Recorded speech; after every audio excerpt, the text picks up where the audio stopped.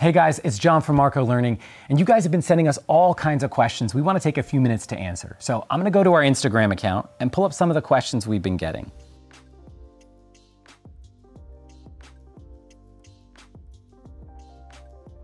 The answer to that question is we don't know. We won't know until after the exams have been taken and they do all the calculations on the results. So don't worry so much about getting 7 out of 10 on the AP US History rubric or 4 out of 6 on AP English Language. Focus on just getting the points. That's what matters. And ignore the final result. We'll deal with that later. Just to review this, you are allowed to use any textbook, test prep book, study guide, class note, anything your teacher's given you, any piece of paper or any digital resource you want. You can Google uh, information and dig it out of the internet. You can find something on Wikipedia. You can watch YouTube videos. We're cautioning people away from wasting too much time online. Focus instead on the material in front of you. Now, one thing I will say, the College Board has made very clear, you cannot collaborate with other people. So if you type your question, your answer in Google Docs, you can't have seven people in that Google Doc with you. You can't be on a Zoom call with other people. So, so long as your work online or in print doesn't involve collaborating with other people, it's fair game for the exam. So let's say you are not setting your alarm on test day, you don't really have a plan, you sleep in and miss the exam, you can simply show up for the June date. You'll be automatically registered. If you have a technical problem, there's a special technical form for you to submit. So if you've opened the exam ticket, you're in the platform, but you don't submit your essay, you need to submit a technical form. If you're a no-show on test day, you just take the exam in June. But remember guys, after the June 1st through 5th makeup dates, there are no makeup dates. That's it. After June 5th, there are no more AP exams for 2020. So you want to make sure that you take advantage of that first testing opportunity if you can. So this is a little bit tricky, guys. If you open your exam ticket on one device, you cannot open that exam ticket on another device. So if you open the exam with your ticket on a desktop or laptop computer and you handwrite your responses, you need to use your phone take photographs of your handwritten work, send them to your computer, and upload from there. That's one of the risks of taking the exam that way. That's why I recommend if you plan to handwrite, you might want to think about taking it on a tablet or on a phone. Stay in one device. You are allowed, by the way, to have two devices open, but you can only open the ticket on one device. So there's a little bit of confusion here.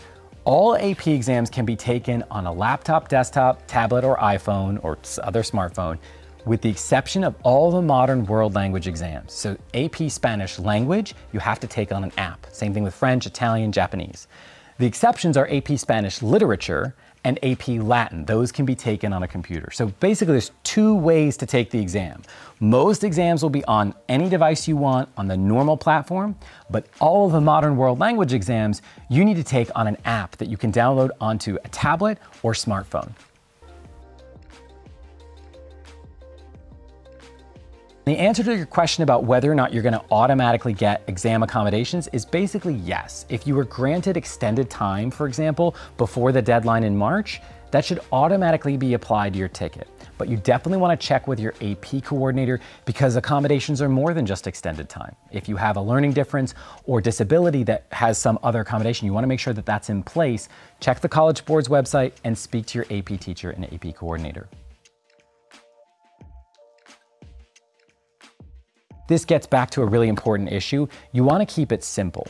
We know that there is no annotation tool inside the College Board's platform. So some people are coming up with a scheme where they screen grab the image of the file that they have to read and then they write on it and then they try to send that over. I think you wanna keep it simple. We know you can print the actual free response questions if you have a printer available.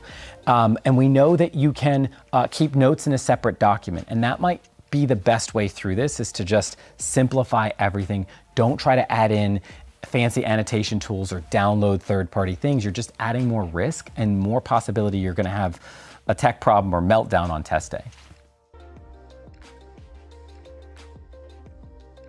You can print, um, but I'm really nervous about printing. My printer runs out of ink, it runs out of paper, paper gets jammed, somebody put cardstock inside that I have to take out, or photo paper, or something weird, and that just adds the potential for risk. So really think about the benefits uh, and the risks of printing during the exam, and whether, for example, your phone is already set up to do this. This is something you definitely wanna practice inside of the official AP exam demo from the College Board. This is a really good question. Can you straight up Google during AP exams? And the answer is yes. You can go to Wikipedia, you can go to any web page you want. You just can't go to collaborative web pages. Oh, I accidentally stumbled on a message board where everyone's talking about the content of the exam. Or whoops, I took a left turn and here I am in a Google Doc with 30 of my friends. Or a Zoom meeting. How did that happen? All of that is cheating, but what's not cheating is using any print or digital books and notes that you have in front of you. Just remember guys, every minute you're spending inside those notes is a minute you're not spending inside the exam platform producing answers that are gonna get you points. So be careful with the open book, open note format. Definitely always stay in touch with your AP coordinator and your AP teacher about this, but you can get a refund on this exam at any time, except once you've already opened the exam and taken it, the refund is over. But basically, if you wanted to cancel today, you could. Um, and we've been telling at Marco Learning, we've been telling people don't decide yet. This was back in March and April. Now that you're in May, it is a really good opportunity for you to see whether or not you actually want to follow through with the exam. Um, remember, if you don't show up for the exam in May, between May 11th and May 22nd, you'll be automatically put into the June 1st through June 5th exam. But if you do open that ticket, you're buying the exam. So a couple things. Remember, during the exam, you're not gonna have a tech support number to call. This is why preparation's key. Set up your space, charge your device, refresh your computer, go through the demo. Really try to get ahead of these problems, and they're gonna give you a form on the College Board's website that you can fill out to request permission to take the exam again in June if you have a technical problem or even if you have an interruption, a screaming little sibling banging on the door can count. You just have to report that to the College Board and then they'll approve you to go into the June 1st through June 5th makeups.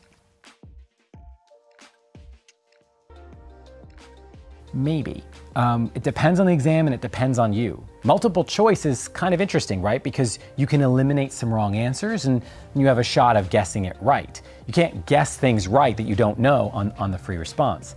At the same time, on the multiple choice questions, there's only one correct answer. On free response essays, you can kind of steer it around what you know and try to put out your best information, the best essay or free response result you can get. So it really depends on the exam. It depends on you. I can tell you the exams are not going to be a joke. Um, and that's why it's really important to go in well rested, prepared, and take as many practice exams as you can before test day.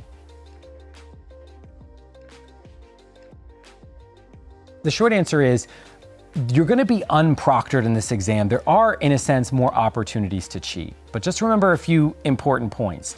Uh, your teachers are gonna get to look at all of your free responses by May 26th, I think. They're also going to, the College Board has the right to notify your high school, notify other colleges you're applying to, they have the right to cancel your SAT or SAT subject test results. They also have the right to involve law enforcement. So I'd be very careful about cheating on an exam that's so short. Every minute you're spending trying to collaborate with other people online is a minute you're not spending in the exam earning points. So cheating for me is not worth it. It's not the way to play the game. Go through this in the most straightforward way. Do your own test. Thank you for sending in such great questions. If I didn't answer your question, put it in the comments and we'll answer it for you. Good luck on test day.